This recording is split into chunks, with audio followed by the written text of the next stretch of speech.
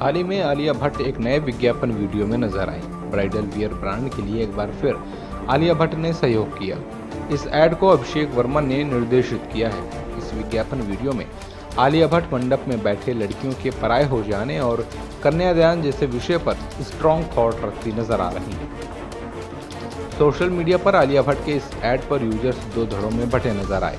कुछ ने इस एड को पसंद किया और विज्ञापन के विचार से सहमति जताई। तो वहीं कुछ यूज़र्स ने बवाल खड़ा कर दिया।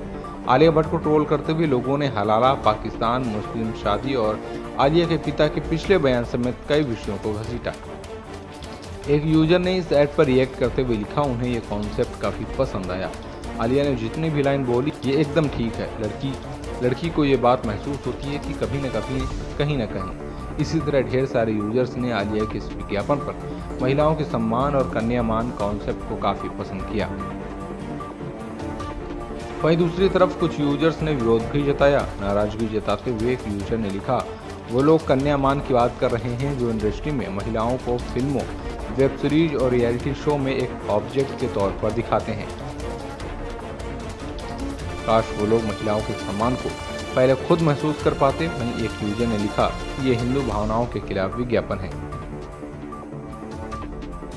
वहीं एक अन्य यूज़र ने आलिया भट्ट व एड मेकर्स पर निशाना साधते हुए कहा कि आखिर हलाला और तीन तलाक पर चुप्पी क्यों?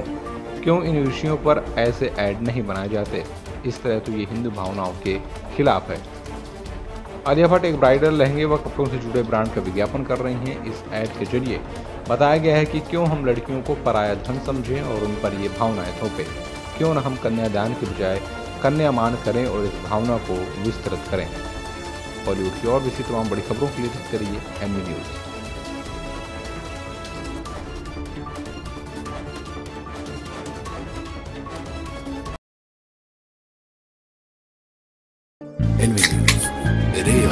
positive.